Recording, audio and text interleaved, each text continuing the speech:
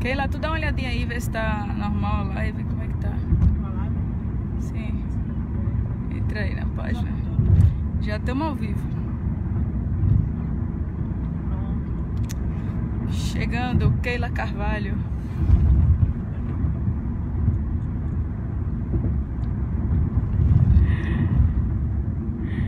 Pai do Senhor. Amém, Gente, vamos voltando aqui. vez. Tem uma areazinha que não pega a internet, tá? Vai nos acompanhando, vai nos acompanhando. Você que tá orando aí por essa causa, fica conosco nas redes sociais.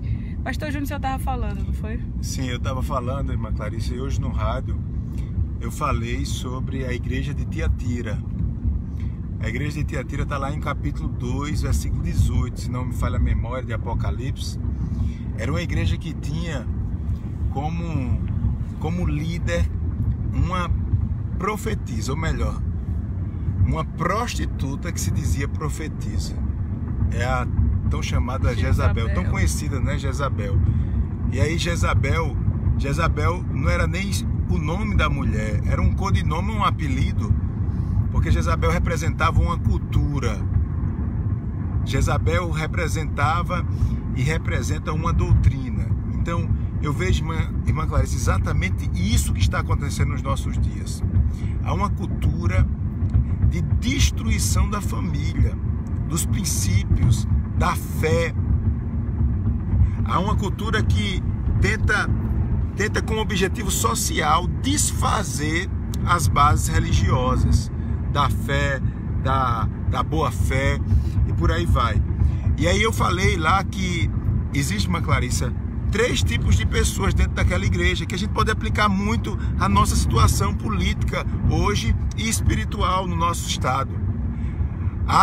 Havia dentro daquela igreja aqueles que não toleravam Jezabel, haviam aqueles que toleravam Jezabel e havia aqueles que se deitavam com Jezabel. Isso é muito forte, irmã Clarissa. É. Porque aqueles que se deitam com Jezabel é aqueles que estão comendo num prato com Jezabel, é aqueles que, que fazem de tudo para a manutenção de Jezabel, porque dependem, dependem do bem-estar de Jezabel.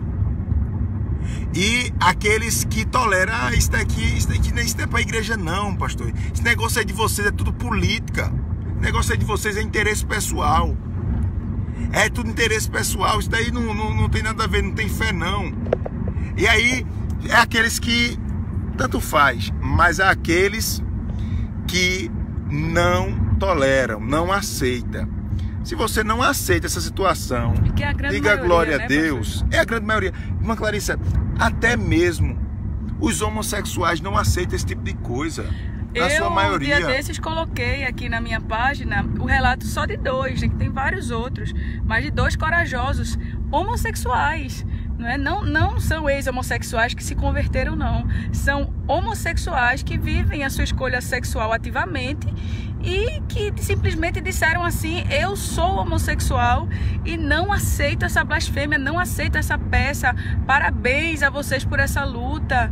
Eles se pronunciaram e eu fiz questão de printar os comentários deles e colocar nas minhas redes sociais e todo mundo assim é, parabenizou a atitude deles, né? Porque independente, eu louvo ao Senhor, independente de placa denominacional, né? A gente vê muitos unidos por essa causa, evangélicos, católicos, espíritas e várias correntes políticas também, né? Encontramos já aqui é, no, no, meio do caminho um adversário político meu, falo adversário político, mas que nessa causa estamos juntos, damos as mãos, nos abraçamos, dizemos vamos lá lutar contra essa blasfêmia, porque não é uma causa política, essa causa é do Senhor. E se essa causa é do Senhor, meu filho, nós não somos adversários políticos, não, nós somos irmãos em Cristo, unidos e vamos lá para Garanhuns combater essa pouca vergonha, essa safadeza, como disse o pastor Júnior, né? Porque olha, não tem esse negócio de politicamente correto correto, não. Não tem que ficar ajeitando, ah, porque é assim, é desse jeito, irmãos. O povo tá cansado desse negócio de querer agradar todo mundo. Jesus não agradou a todo mundo, a gente não vai agradar, não. temos recebido tantos comentários. Pastor Júnior, ontem aqui, a gente estava voltando quase uma hora da manhã de Garanhuns, leu um comentário de um militante LGBT que colocou no nosso, na nossa postagem um comentário nojento, não é? Se referindo a nós dois. Eu quero. É... E, e a gente vê que são pessoas desse tipo que.